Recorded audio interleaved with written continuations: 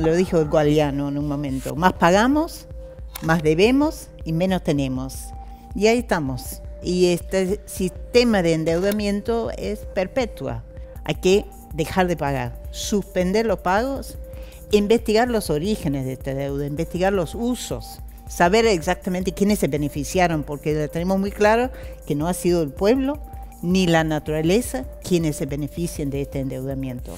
BlackRock, por ejemplo, uno de esos fondos de inversión que tiene mucho de la deuda argentina, maneja, digamos, una cantidad de activos más grande que la economía de Alemania y Francia juntos.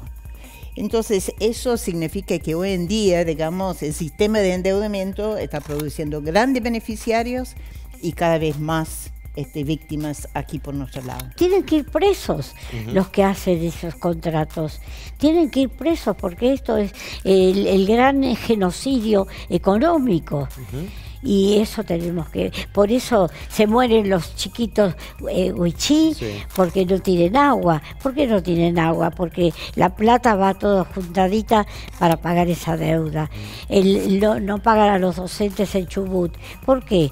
y bueno los gobernadores la plata la usan para juntar para pagar la deuda los intereses. Este gobierno plantea que necesitamos más megaminería, necesitamos más vaca muerta. ¿Para qué? Para pagar la deuda, que el mismo gobierno te está diciendo es una deuda ilegítima y ilegal.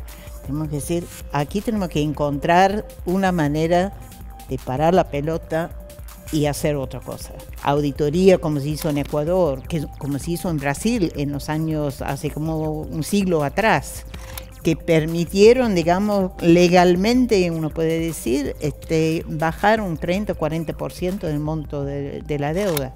O sea, caminos hay. Lo que falta es voluntad para trazarlos.